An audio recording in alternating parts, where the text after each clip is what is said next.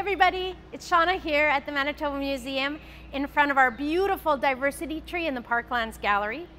The diversity tree showcases some of the amazing animals we have here in our province of Manitoba.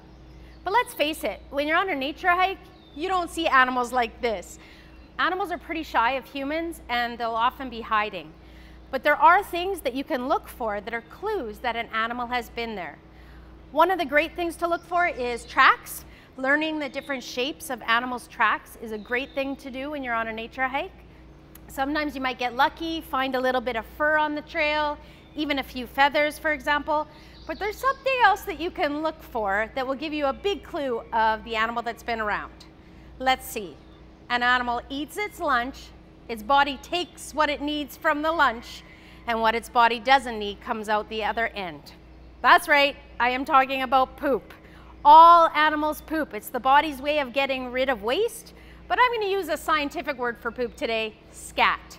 Which brings me to the real reason I brought us here to this exact spot in our gallery to show you our amazing Manitoba Museum scat drawer. That's right, you heard correctly, the scat drawer. Uh, we have scat from many different animals here in Manitoba in this drawer. And in case you're wondering, yes, it is real scat it's been preserved.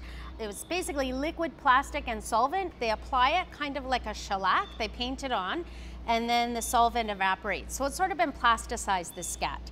So animals that eat plants, herbivores, like deer and rabbit, their scat usually comes out in little pellets. As you can see from this rabbit scat, and this is deer scat. So if you see that on the trail, you know that it was a deer or rabbit around.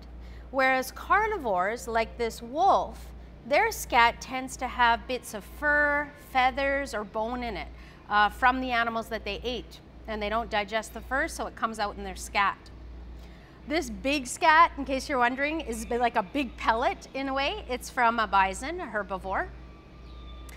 Over here on this side, we have two black bear scats.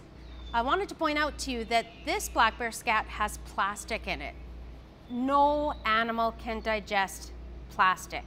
They can try to get rid of it as waste, like we see with this black bear scat, but sometimes it can be very, very dangerous for them.